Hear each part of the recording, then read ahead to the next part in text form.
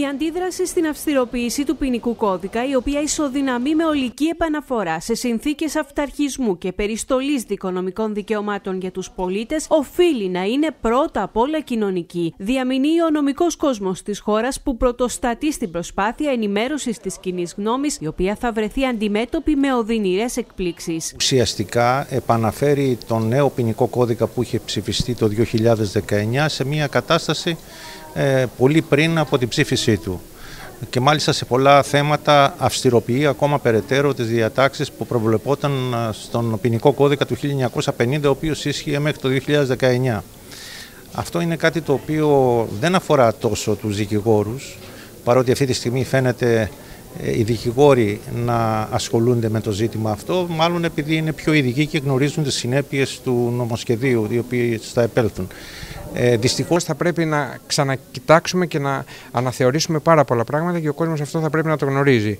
Ε, αυτό που έρχεται αφορά πρωτίστως το μέσο πολίτη και όχι το μέσο δικηγόρο. Η ελληνική δικαιοσύνη επιστρέφει στο 1950, καθώς οι διατάξεις που προωθούνται περιλαμβάνουν μεταξύ άλλων κατάργηση δικαιώματος αναστολής για οποιαδήποτε ποινή άνω του ενός έτους, με συνέπεια ακόμη και άνθρωποι χωρίς ποινικό παρελθόν για μια απλή οφειλή να καταλήγουν πλέον στη φυλακή, όπως επισημαίνουν οι δικηγόροι. Το αφορά όλη την κοινωνία και όχι μόνο την εγκληματικότητα, τη βαριά, η οποία είναι, εν πάση περιπτώσει, ένα κομμάτι το οποίο ταλανίζει την ε, ελληνική κοινωνία και τα αντανακλαστικά του κόσμου είναι τέτοια ότι θα πρέπει να αυστηροποιηθεί.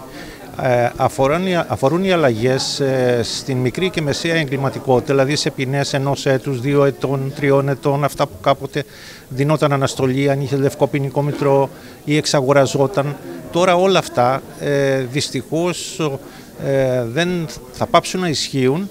Η αναστολή θα δίνεται μόνο για ποινές μέχρι ενός έτους. Από εκεί και πέρα οι άνθρωποι θα αναγκάζονται να πληρώνουν τις ποινές τους ε, προς 600 ή 1000 ευρώ το μήνα, που αντιλαμβάνεστε ότι για μία ποινή 15 μηνών, η οποία είναι η οποιαδήποτε παράβαση μπορεί να φανταστεί κάποιος για πλημέλημα, θα χρειάζεται 10 ή 15 να πληρώσει την ποινή. Δεν ξέρω αν αυτά τα πράγματα τα έχει καταλάβει ο κόσμος και μπορεί να αντιληφθεί πού θα οδηγήσουν. Οι της εγκληματικότητας είναι η κοινωνική και η οικονομική πολιτική, είναι κοινωνικά τα αίτια και δεν φταίνε οι ποινές. Εξάλλου η κυβέρνηση δεν διαθέτει καμία στατιστική από την οποία να πηγάζει το συμπέρασμα επιστημονικά τεκμηριωμένο ότι φταίνε οι χαμηλές ποινές για την εγκληματικότητα ή τα όρια αναστολής ή οι όρια αποφυλάκησης. Ο σχεδιασμός του Υπουργείου Δικαιοσύνης, όπως εξήγησαν διακεκριμένοι ποινικολόγοι στην Εσπερίδα που πραγματοποιήθηκε στο Ηράκλειο, με πρωτοβουλία της δικηγορικής προοπτικής, ισοδυναμεί με πλήρη περιστολή δικονομικών δικαιωμάτων. Θα βρεθεί κόσμος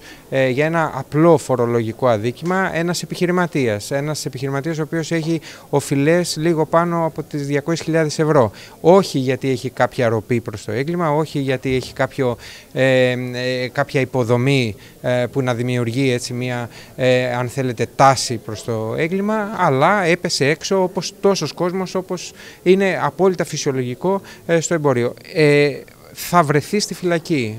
Κανείς δεν θα τολμάει να πηγαίνει να δικαστεί χωρίς δικηγόρο.